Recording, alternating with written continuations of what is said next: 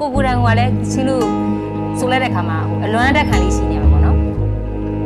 ကြားလိုက်သူကလည်းအော်ဒါသူမျောနေတာပါလားဆိုတဲ့အဓိပ္ပာယ်နဲ့တောက်ညောက်တော့အဲ့လိုခံစားပြီးတော့ဆိုပါတယ်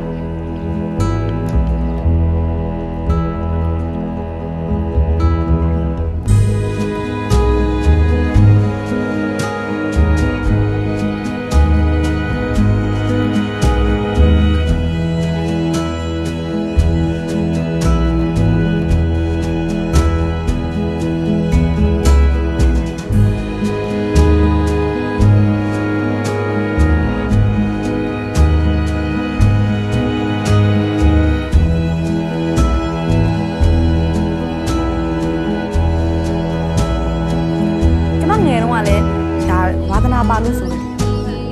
တချင်းဆိုလိုက်ရအောင်ပဲတအားကြီးစိတ်ညစ်တယ်စိတ်ညစ်နေဆိုတချင်းဆိုချလိုက်စိတ်ပေါ်လာ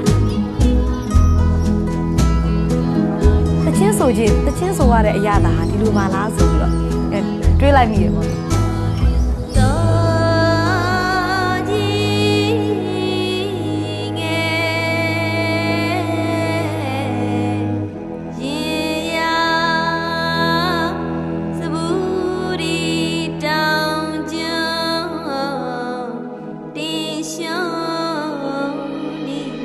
trái tim.